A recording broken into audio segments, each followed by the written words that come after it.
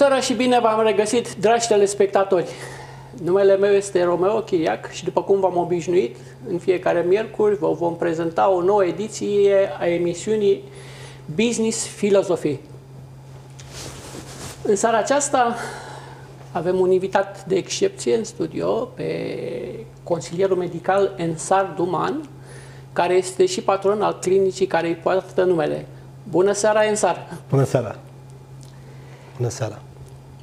Dragul meu, am auzit numai lucruri impresionante despre ce se întâmplă la clinica ta. Ehm, prei pacienți care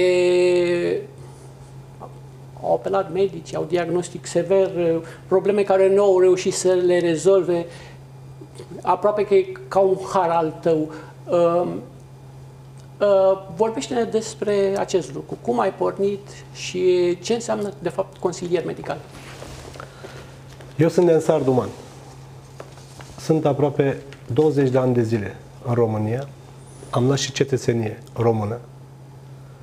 Uh, businessul aceasta aproape 10 ani de zile fac.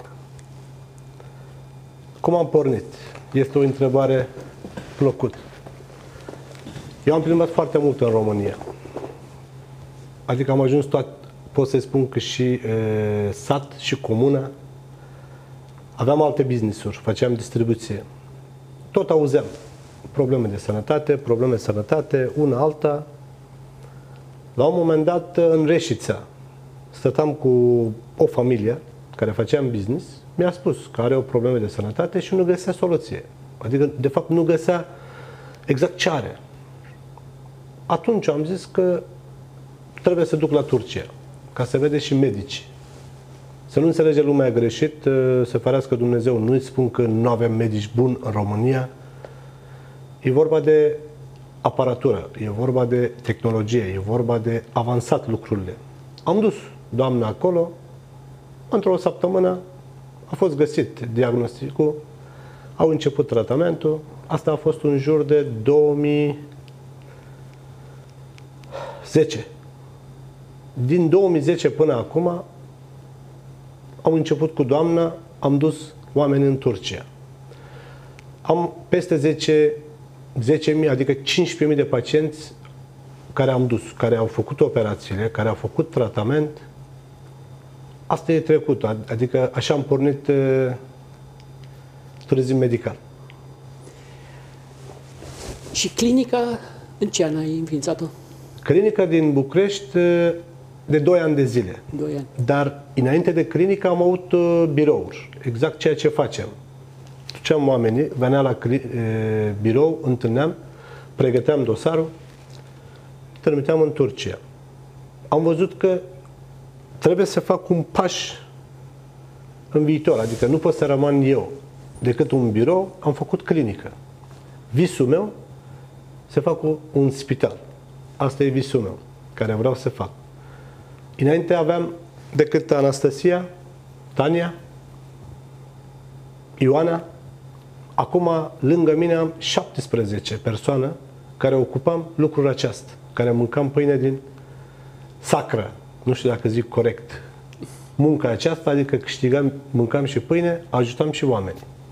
De 2 ani de zile am și clinică. În clinică, aici, facem tratamente. Tratament de păr, Poate o să pune lume, el vorbește de tratament, dar nu are păr.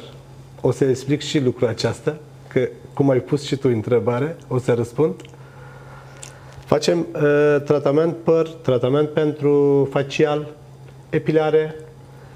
Anumite pacienți, exemplu, care operează în Turcia rinoplastie, implant mamar, una alta, care vine aici, trebuie să scoatem anumite fire sau, uh, nu știu, trebuie să facem lucruri mici, atunci am medici sau asistent medical care rezolvă, care ajută. Cu tratament de păr care facem, am pornit eh, tratament eh, înainte, dacă merg așa puțin mai înapoi, 2013. Eh, nu știu dacă e bine să zic, dar eu trebuie să zic că asta e datorie față de el. Cu Măruța am început să fac lucrul aceasta. El m-a ajutat, el m-a îndrumat Prima implantul noi am făcut în Turcia cu Mihai Trastariu. După Mihai Trastariu, când am apărut la o emisiune, toată lumea pune întrebare, da, doctorul ăla de ce nu are păr? Doctorul face implant de păr, el de ce nu are? Și am explicat atunci, am zis, nu poate să face orice om implant de păr. Implant de păr seamnă, ia din zona aceasta, pune aici. Dacă nu ai parte spate destul păr, nu poți să acoperi. Exact eu cum sunt, cine e ca mine, eu spun din start, mai bine nu se face implant. Nu reușește, nu acoperă așa de mare zona părul care avem noi, parte spate unde donatorul, care îi spunem noi. De-aia eu n-am făcut și tratamentul care facem în clinică nu merge mie. Merge la femei, merge și la bărbat, dar părul care are rar, care are deja pufuri, cade. Noi cu tratamentul aceasta suntem singurul din România care facem tratament cu laser și avem rezultate 100%, adică noi și dăm garanție. Care părul este foarte subțire, e în drum spre cadere. Noi oprim cadere, pufurile aceea facem cu tratamentul, se revine păr normal. Rădăcinile o să fie mai puternic, nu mai cade. Asta facem noi cu tratamentul. Avem un coleg în studio aici, Laurențiu Ciornec, poate e interesat de uh, aspectul cu potapa capilară. Bună seara, Laurențiu!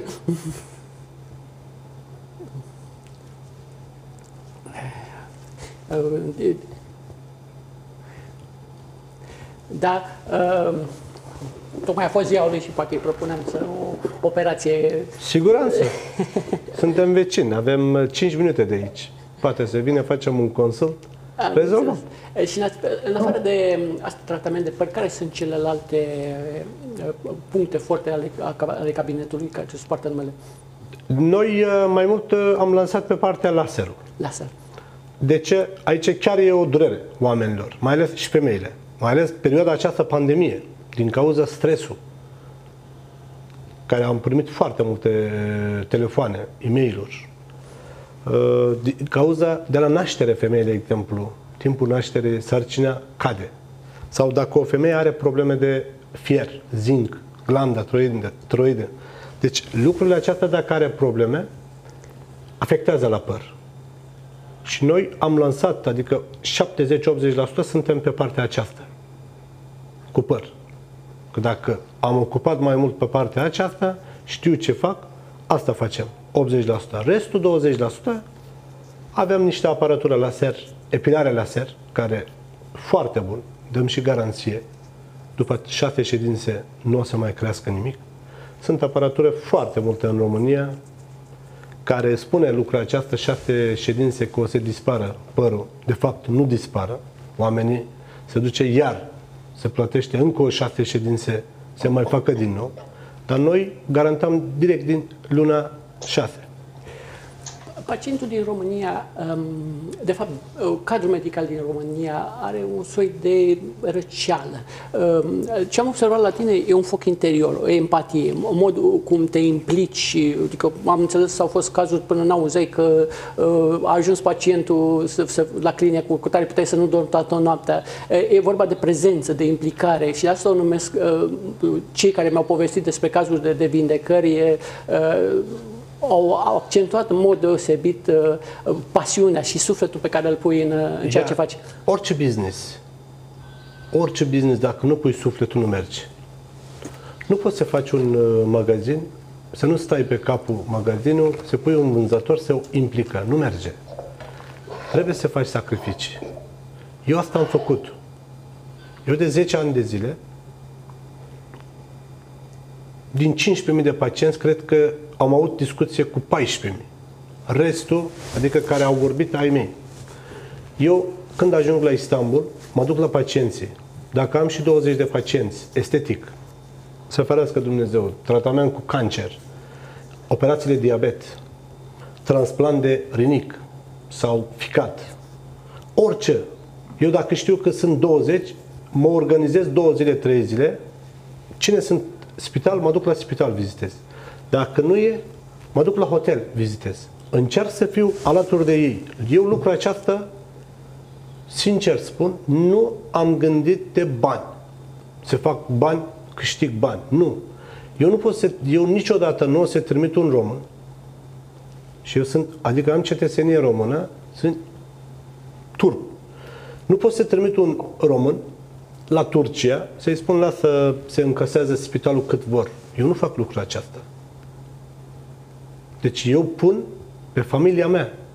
E mare lucru un om din România care are încredere în mine, schimbă țara, merge o altă țară, care nu știe limba, care nu știe ce o să fie. Prin ce merge? Prin încredere care are mine. Și eu, normal că trebuie să am grijă, normal că trebuie să țip la spital oameni de acolo ca să meargă lucrurile cum trebuie. de și când întoarce oamenii, simte o prietenie. Lucrul acesta, adică se leagă pe noi. Aproape că face parte din vindecare, contribuie, ajută acest... Altfel, ce să fac?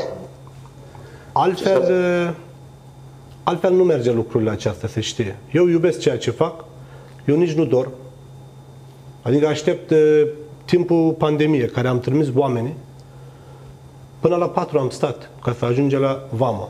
Deci perioada aceasta, timpul, timpul pandemie, noi aproximativ, zic, 12-13 pacienți am trimis în Turcia, cu salvare special.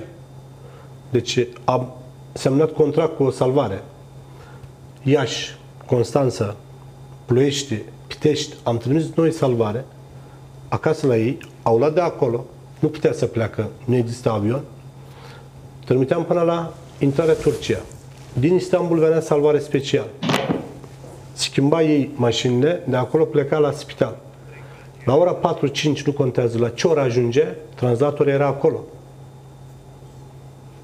Făceam testul COVID, puneam un etaj special pentru ei, rămânea acolo o zi, a doua zi ieșea testul COVID, după aia intra tratament. Deci noi, timpul pandemiei, tot am încercat să ajutăm oameni. Din păcate, perioada aceea au blocat totul. Dar noi am încercat să ajutăm cât mai multe oameni ca să fie bine. Impresionant. Laurențiu, ce părere ai despre acest uh, serviciu lansat uh, în plină pandemie pentru pacienții din România? Ce să spun, uh, bună seara, Efendi Ensar. Bună seara. Mi-aș dori să aflu cât mai multe amănunte. Uite, de el a povestit foarte multe lucruri interesante pe care le face pentru români. Într-adevăr, sănătatea este pe primul plan în viața unui om, alături de familie și prieteni, dar dacă nu e sănătos, degeaba ești cum ar veni. Și atunci sunt foarte multe teme pe care le avem în legătură cu sănătatea noastră. Vreau să ne spună uh, Efendi despre uh, cele 12 parteneriate cu spitalele din Turcia.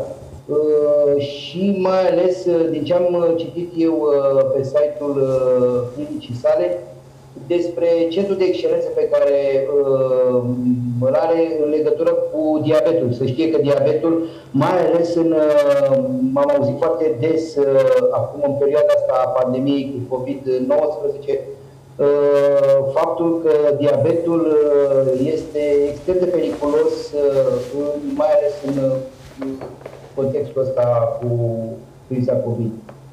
Deci, ce ne poate spune despre acest centru de excelență? Bună seara din nou! Uh, eu de patru ani de zile vorbesc prietenii, rude, cunoștințele din România că există operația aceasta de diabet tip 2. Tip 2.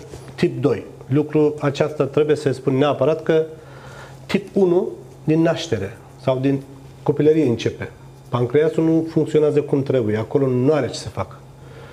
Dar tip 2 eu am prieten care a fost operat din 2011, din Timișoara. Cunosc oameni din Botoșan care au operat acum 5 ani, 6 ani. Eu tot am spus oamenii. Lumea nu credea. Nu există, nu există, nu există. Eu îți spun, atunci am spus, îți spun și acum. Există operația aceasta. Este interpoziție ileală. Așa se numește. Deci, este un profesor foarte cunoscut, este și președintele metabolic în Turcia. Și, ac- și acum aud? El, uh, el operează. Deci, în România am aproape 50 de pacienți care am dus în perioada aceasta, adică de un an, doi ani, trei ani, patru ani de zile, care au operat și care sunt bine. Am făcut și filmarele. Lumea nu credea. Acum doi ani când am făcut un video, am spus că există tratament pentru diabet tip 2. Lumea a zis că, dar ce înseamnă asta? Excrop, minți, una, alta. Eu nu am lăsat. Cum a fost și implant de păr. Acum 8 ani, 7 ani când am făcut, toată lumea spunea, bă, el e chel, dar vorbește de implant de păr. Am reușit. Foarte multe lume a auzit. Cu mine a început în România să plece lumea în Turcia să face implant de păr. Eu am arătat, acum am arătat și operații de diabet. Da? Îți spun oamenii, sunt medici și medici. Să nu meargă ochii închiși, să nu se uită la bani. Cum a spus domnul Laurențiu, este primul, primul plan sănătate. Tata are o vorba. Eu nu sunt așa de bogat să cumpăr lucruri ieftine. Dacă cumpăram lucruri ieftine, strică. Așa e și mai ales sănătatea. Dacă nu te duci unde trebuie, distrugi. Distrugi viața. E vorba de o operație laparoscopic. Este o operație adevărat că e complicat, dar se vindecă. Se vindecă și toată viața lor care există de acum încolo o să fie o viață mai normal, fără medicamente, fără insulină. Deci am avut pacienți care folosea 20 de medicamente. Videourile care am postat, poate să uite lumea acolo. Și acum nu ia niciun medicament. O doamnă din Giurgiu, 65 de ani. Un domn din Brașov, 67 de ani. Domnul din Slobozia, care are 40 ceva de ani. Deci acum se simte foarte bine. Lumea trebuie să știe, operația aceasta nu este micșorare de stomac. Deci lumea cea, e vorba de micșorare de stomac. Nu. Este diferit. Micșorarea de stomac, dacă se rezolvă diabetul, nu se rezolvă diabetul. Revine după un an, doi ani de zile. Deci, un an, doi ani o să fie mai scăzut un altă, dar revine după aia. Dar operație care facem noi, eu nu am văzut ca să, care revine. Mm-hmm. Deci tipologia, din ce înțeleg, tipologia pacientului român, uh, în primul rând, el a îngurgitat niște tipare, că nu se poate vindeca, ai avut de luptat pe de parte cu asta. Normal. Uh, apoi o lipsă de informare de asemenea, trebuie să-i construiești, apoi validarea, să-i oferi cazuri că, uite, pot să fac lucrurile astea și există persoane, noi mai avem și probleme cu diverse șarlatanisme și nu știu ce, dar tu le-ai arătat cazuri concrete, cazuri de persoane care, care au făcut... Eu înainte nu puteam să vorbesc, iartă-mă, înainte nu puteam să vorbesc despre aceasta când nu aveam pacienți lângă mine. Acum mulțumesc pacienții care au avut încredere în mine. Și când a venit, a zis Ensar, eu am încredere, dacă îi spui tu, merg. Acum dacă chem, minim 30-40 de oameni o să vină lângă mine. Oriunde vrea lume. Aduc oamenii. Dacă oamenii spune că nu există Domnul, zic, pot să aduc toate oamenii, acum asta e puterea mea. Pacienții mulțumiți. Uite, noi în seara asta am adus un caz, uh, are o sumedenie de boli, principal cea de ipohondrie, dacă tratezi la clinica ta așa ceva, pe Victorila. Salutare, Victor! Salutare tuturor, eu uh, sunt cu munca la negru. Efendi, te pun fratele meu. Mulțumesc, o seara bună. În Bun, vezi că eu sunt al tău chiar dacă sunt așa, eu sunt un pic uh, un pui de turc, care vă să zic că... Ia spune fratele meu, uh, care dintre uh, vedetele locale, adică din România, au, s-au tratat la clinica care scoate numele? Dacă... Așa, ai Chestariu. Care Cine a mai fost? Uh, Ce vedete ai? Dacă încep să număr, o să face dimineață, se știe. Spune la Acum, soție. așa, cinci nume mai așa însemnat, așa. Care? Mihai Moraz? Hai, Morar, da. Ana Maria Prodan? Oh, bravo. Care? Uh, Lora? Ești- Oh, și mai tare. Sora mea? Andreea Tonciu? Nicoleta Nuca? Oh, Andreea Tonciu s-a operat la nas sau la da, ce? da, da, da, da, da. Brigitte? Aha. Nicoleta Ah, și Brigitte. Luciu? Luciu, oh, vei ajunge, deci ai toată crema. Rareș? Mai ales să mai ales să mai spună că ies știi multe de asta. Uh, Raul? Uh, Bogdan Aha, Vladău? Raul, cântărețul. Da, Bogdan Vladău? Aha. Ana Maria Mocanu? Bă, de toate, toate vedetele au trecut pe acolo. Am zis, asta adică care a venit așa, p- o parte care am Așa, spus. la prima înfățișare, cum spunem Exact. noi. Așa, bun. Și ia spune se întâmplă să vină și uh, pacienții care sunt mai așa de ochiați și care vor să, să-i trateze la negru? Adică cum sunt eu. Nu, la negru, adică fără acte legale să plătească doar uh, jumătate de preț, restul la mică înțelegere. Uh, asta e o întrebare de capcan. Bine, bine zice, ca să scăpăm așa, bine, da, bine. Așa, bun, Știi vorba, uite că știi vorba. Aici, aici în România... Scuze, știi vorba. Spune că uh, la România este o vorbă, ești turc, nu înțelegi? La întrebarea asta chiar sunt turc și nu înțeleg. Nu înțelegi, foarte bine, că e mai aproape cămașa de piele, bravo, bea deștept. Uh, știi că aici în România a fost un doctor italian care, mă rog, a aruncat o umbră cam, uh, na, nu prea bună asupra meseriei. El a fost medicul fals, Nu-i a spunem- operat, atunci- a atunci făcut, nu-i uh, spunem- atunci nu-i uh, spunem operații doctor. cosmetice, a- oamenii s-au dus s-au operat și l-a, a fost desconspirat și l-au găsit. Acum nu știu, cred că e la pușcărie. El uh, nici măcar n-avea 10 clase. În primul rând, Că noi care suntem veniți în România, întotdeauna ne ferim de oameni care vin și ne strică lucrurile bune pe care le facem noi, cum a fost acel doctor uh, italian. Că și eu la un moment dat ne întreba, a, voi ăștia care veniți, păi stai puțin, italianul a fost alb, eu nu sunt alb, eu sunt negru.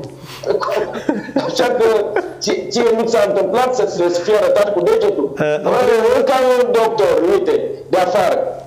în primul rând, orice, orice străin care vine aici trebuie să gândească gândirea aceasta. Eu trebuie să fiu un mostră, un exemplu pentru țara mea. Eu Corect. așa mă uit lucrurile. Eu orice greșeală fac aici, lumea o să-i spune turc. Noi trebuie să avem mare grijă. Avem uh, o misiune. Eu așa mă uit lucrurile acestea. Eu n-am venit așa în întâmplare în România. Da, adevărat că a fost un telefon și am venit. M-a chemat unchiul. De la un business am ajuns la un business care mă iubește toată România. Și eu iubesc pe ei. Eu trebuie să am mare grijă ce fac. În primul rând, pentru mine, sufletul, a doua pentru 80 de milioni care este în spatele meu, turc. Orice greșeală mea, îți spune, Turcia. A doua, Corect. omul aceasta nu trebuie să-i spunem medic. Cât am înțeles că nu e medic. A treia, noi, uh, după el, după el, noi am uh, reparat câteva cazuri. A fost. Bravo. A fost, adică oamenii E interesant. da, a fost oamenii care au cerut ajutorul de la noi și noi, dacă nu greșesc, două persoane a fost. Și noi am operat, am reparat. Făcuse stricăciuni Da. mari? Da. Am înțeles. Acolo nu vreau să mă bag, că adevărat că e, s-a închis subiectul acesta, poate nu am auzit eu, nu am văzut eu mai multe. Uh, un om normal, conștient, capul la umer, nu se face luc- lucrurile acestea. Poți să câștigi banii de la orice, dar cinstit. Nu să iei cuțit, tai că sunt medic. Deci tu nu poți să joci cu Cu viața oamenilor. viața oamenilor. Eu Vreau să te mai întreb, Te rog. Sar, dacă te uiți un pic la mine pe părțile laterale, îmi cam, îmi cam părăsește Părul, bine. E adevărat cum se spune că părul prost părăsește capul deștept. Dar nu cred că e cazul. Cred că la clinica ta acolo po- poți găsi uh, înțelegere și soluția pentru a aduce părul înapoi. Numai pe parte, numai pe pare- dreapta. Că eu văd că am aici, am și spate, am. Doar aici lipsește. Părul negru cred că are loc acolo în clinica ta? Uh, Spuneam, de unde ești tu? Prima după aia. Eu sunt din, din Tei, la Cultei, de București. și, eu sunt, și eu sunt din, uh, cum zicea prietenul meu, îți spunea un uh, papadag. sâmbătă, sâmbătă am avut o, niște prieteni, tot o Sorin, eram la un loc, tot îți spunea, Ensar, tu ești din Babadag, tu ești din Babadag. Uite, Sorin, zic, sunt din Babadag. Deci, fii atent, uh, cum sunteți Deci, voi? uite, ca să răspund la întrebarea ta. Eu sunt din, uh, din uh, Congo, Brazzaville. Eh, Mă oferesc să spun Congo, Brazzaville, că mereu eh, neamurile mele țigane care vă să zic, că nu sunt rasist, dar așa sunt eh, frații mei, țigani. Eu când spun, băi, fratelo, de unde ești? Eu spun, din Congo, la care, oh, frumos, Congo, Kong, frumos. Am fost două, am fost două ori la Zanzibar, ca să știi. De-aia am întrebat, Da, a, da. fost, a fost o curiozitate mea. Deci, cum ești tu, exemplu, cazurile din Africa, să știi că voi aveți uh, părul mai undulat. Da, Uh, așa e. Cam 70-80% nu reușim să facem implant. Implant de păr trebuie să ai rădăcinile drept. Când scoți Aoleu. rădăcinile, nu trebuie să omori Deci rădăcinile. suntem doi, eu și cu Laurențiu nu avem soluții. Nici eu, Un super nici eu. sau picătură. Laurențiu seamănă cu mine că nu, me- nu are nevoie el. Deci, Deci zi, părul ondulat din Africa nu are soluția în 70, Turcia. nu, Și în București. 70%, 70% nu reușim. Dar 30% da, depinde de implant de păr tot așa, adică e decât un cuvânt, implant de păr, dar spatele este foarte multă muncă. Trebuie să muncești foarte mult. Adică trebuie să scoți grefturile, să vezi dacă e bine. Când scoți greftul și dacă este foarte ondulat, nu mai poți să pui înapoi. Atunci când pui, poate strici rădăcinul și nu mai crește. Asta e problema. Deci e o problemă. pare rău. Ă- Încă o întrebare. Dar o să găsim Încă pentru o tine întrebare. dacă vrei neapărat un tratament. Da, încă o întrebare. E, O vedetă de la noi, de aici, de la București, s-a dus acum câțiva ani și s-a, s-a maritat în Turcia cu un uh, bărbat, un turc adevărat, bărbat onorabil. Și toată lumea s-a întrebat, dar de ce a plecat tocmai în Turcia? Aici n-a găsit un uh, bărbat, nu știu ce. E cam peste tot, oamenii tot spuneau, e, na, pe e mai bine acolo, că turcul plătește. Dar eu nu înțeleg vorba asta. Ce înseamnă? Cum să-mi explici de ce se tot spune că turcul plătește? Ce plătește? Uh, De ce? La noi niciodată nu o să vezi în Turcia, oricum ultima vreme au schimbat, la noi nu există chestia asta. Dacă stai la o masă, 7-8 persoane, niciodată nu o să vezi, se scoate șapte turci odată, se uită la uh, fișa aceea sau, uh, cum se zic, bon, Nota de plată. nota de plată se lasă fiecare ce au mâncat. La noi tot timpul asta a fost educație. O persoană există care ia nota și se duce și plătește. Deci, la noi nu există... Asta, vine, asta cred că vine la, eu, la noi e o chestie, ce almanusul. Adică ca german, știi? Se, te uiți acolo la Da. bon, ce am mâncat, trebuie să plătesc. Asta vine. Noi suntem mâna deschis. Bravo. Noi plătim. Bravo. Deci eu niciodată, îți spun sincer, și ziua de astăzi, dacă am bani în buzunar, nu am bani în buzunar, eu nu mă uit. Eu bona aceea nu mă uit. Ori las, plec, ori zic, domnul, plătiți voi. Nu, adică nu, nu vine să cred că mă uit acolo ce am mâncat, 20 de lei eu, 20 de lei domnișoara, ia 40 de lei. Nu se poate așa ceva. Ori ești șmecher, ori ești șmecher. De-aia vine turc, Bravo, bravo. vorba turcul plătește. Mulțumim, Plătește. Victor. Da, Asta, asta sincer n-am știut. Îți mulțumesc mult că n-am știut explicația asta. Cu drag, sănătate multe! Mulțumim, Victor. Doamne ajută! Te aștept la restaurantul meu care am la Decebal. Se numește Duman. Așa? Se numește Duman. Ia și Laurențiu, și Romeu, Da, și ok, tu. o să ve- Și, Te rog și frumos. turcul plătește și acolo? Acolo plătește fratele meu, tot e turc. El ocupă. Așa, bravo, uite că îl asum. Cu drag mă Venim. aștept. Mulțumim de invitație, Efendi Sar. Cu mare drag. Mulțumim, Victor. Uh, Ileana, ce părere ai de uh, latura emoțională a acestui business, clinica medicală în Sarduman? Uh, este foarte frumos că ne învață, uite, persoane care au mai multă credință decât noi, uh, lucrurile care se pot face și cu care noi am fost obișnuiți că nu au soluții, din păcate. Și, cum spunea și Ensar, dovadă sunt chiar pacienții și rezultatele pe care le-au avut acești oameni. Uh, ironia sorții face că acum 50 de ani eu m-am născut la spitalul, la Institutul de Diabet din București, Nicolae Paulescu. Am uh, o mamă care, în timp ce eram la Viena, în Austria, eu aveam 4 ani, a făcut comă diabetică și de atunci, deci de 46 de ani, face insulină. Și la rândul meu am un fiu care de 10 ani face insulină. După cum a spus și Ensar, este diabet de tip 1 și nu este acum în fază de operație. În schimb, pot să spun că cercetările există și au existat întotdeauna, lucrurile avansează, că vrem noi sau nu, și cu siguranță că vor exista și aici soluții.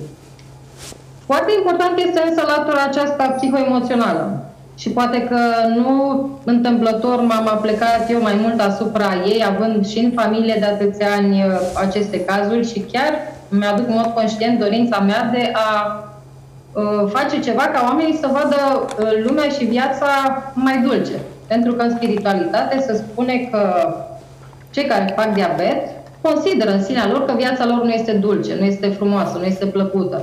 Nu văd dulceața vieții și atunci pancreasul începe să facă economie, da, pe principiul eficienței și să nu mai producă insulină, pentru că organismul, da, cum sufletul spune, nu are nevoie de nimic, de, nu are nevoie de insulină pentru că viața nu este dulce.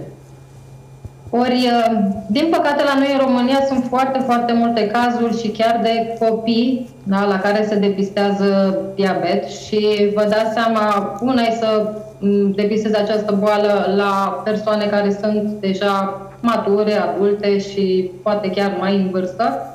Una este să depistezi lucrul acesta la uh, copii, chiar la copii la noi născuți.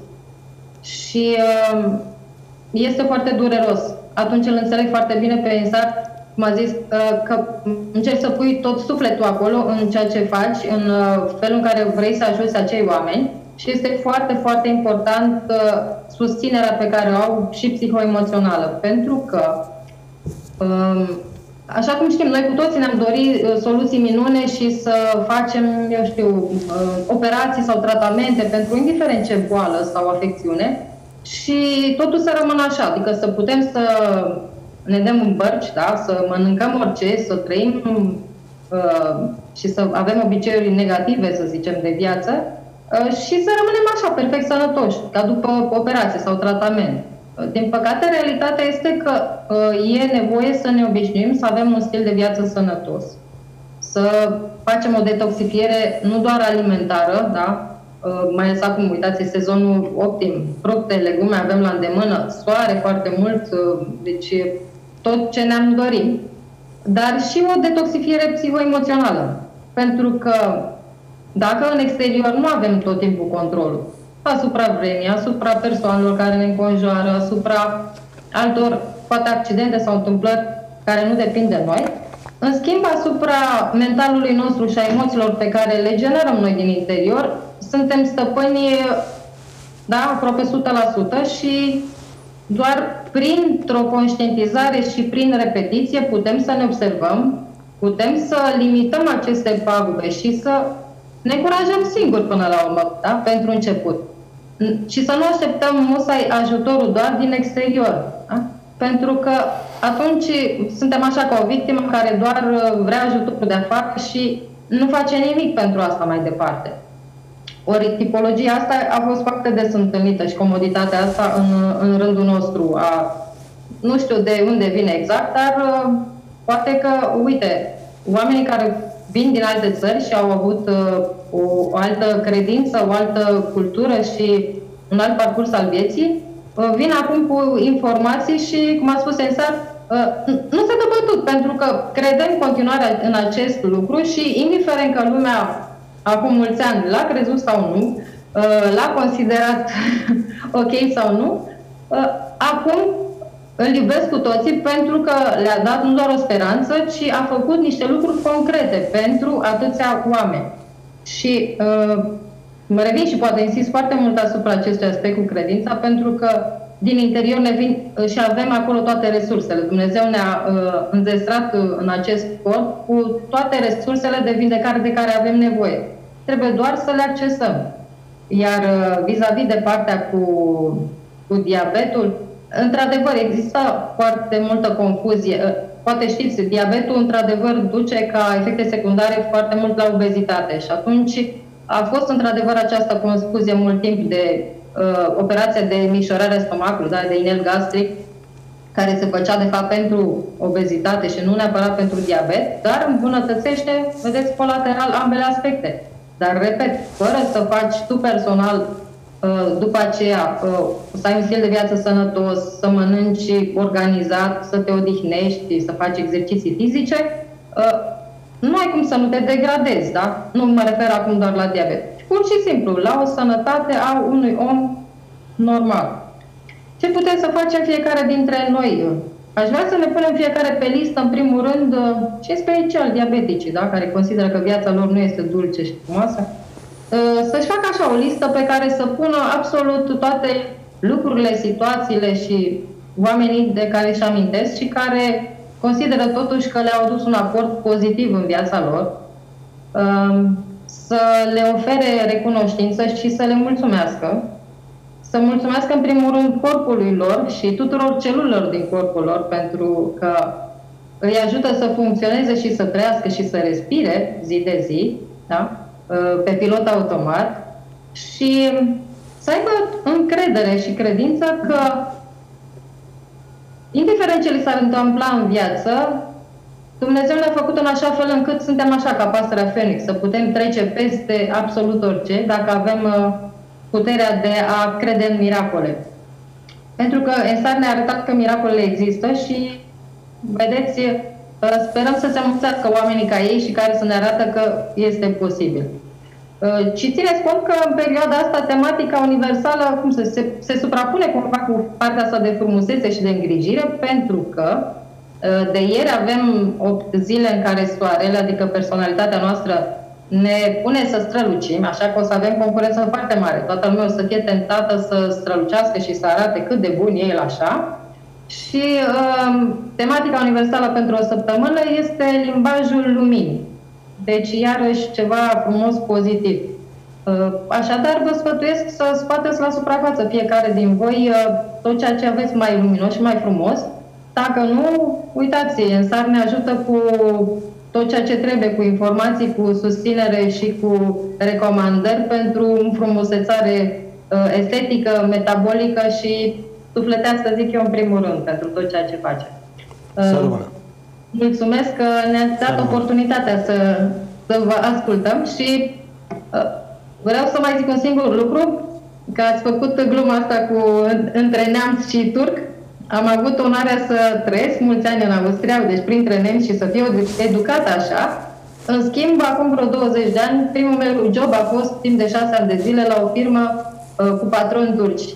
Și am văzut onoarea și respectul uh, și credința acestor oameni cu care am rămas uh, foarte bună prietenă și tot respectul pentru voi. Să rămână, mulțumesc mult! Mulțumim, Ileana! Uh, Dragul meu, să îți mărturisesc că uh, am avut la fel șansa să cunosc o sumedenie de oameni care au venit în, de străini, care au venit în România, ca studenți, care ulterior și-au căpătat cetățenia.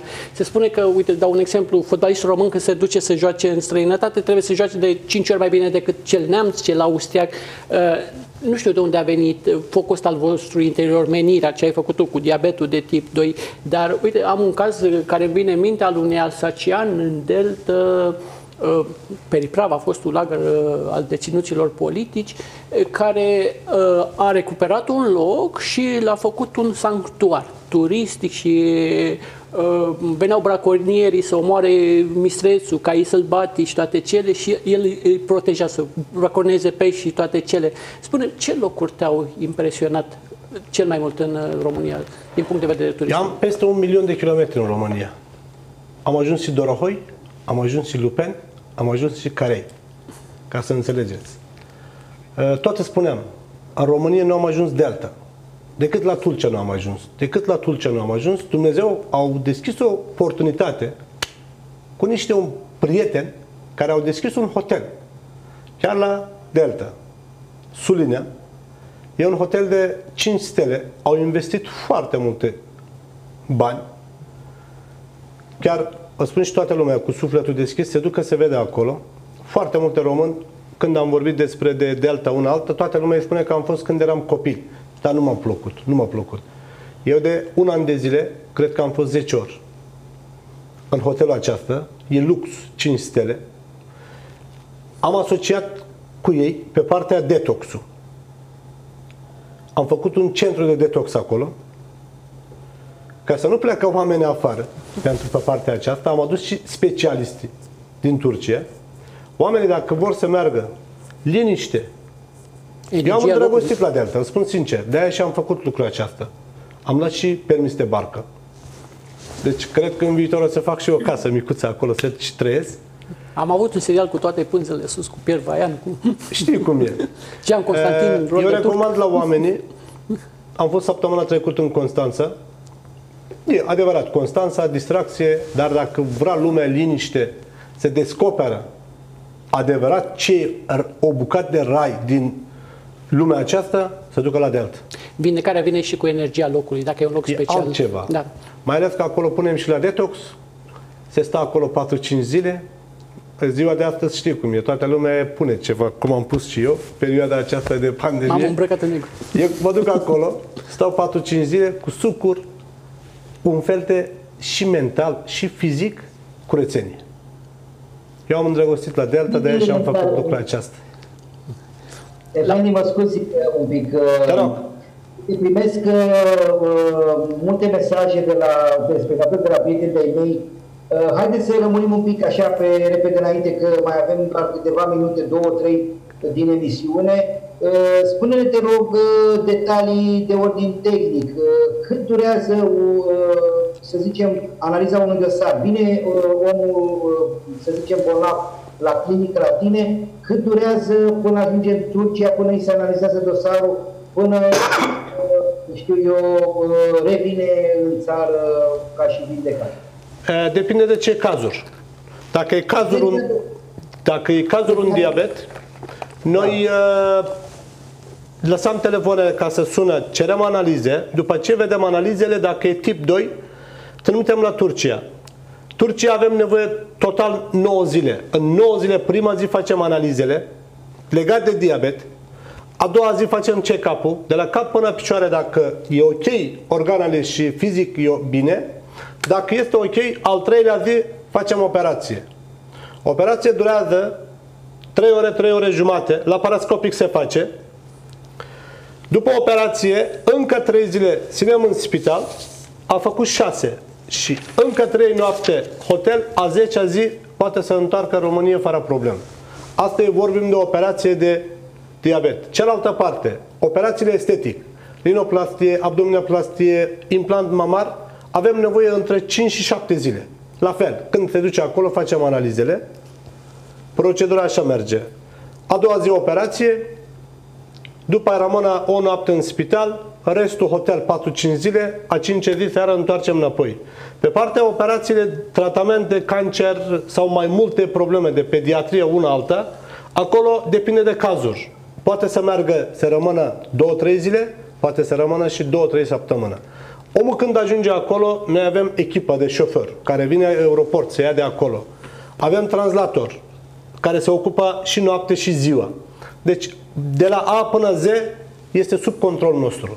Eu am o vorbă acum. Îți spun, ceea ce am făcut înainte este garanție pentru ceea ce o să fac în viitor. Asta zic. Frumos. Bravo. Tare Da. mult, uh, Dacă mai aveți da. altă întrebare, cu drag. Uh, și uh, le mulțumim și telespectatorilor că ne-au uh, urmărit uh, cu atenție. Sper ca uh, detaliile pe care le-ai dat tu să fie suficiente și dacă nu, invităm să te caute pe internet, pe pagina ta de uh, pagina clinicii tale web.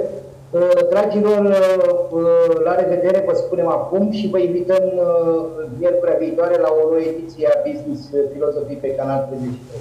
La revedere! Mulțumim, la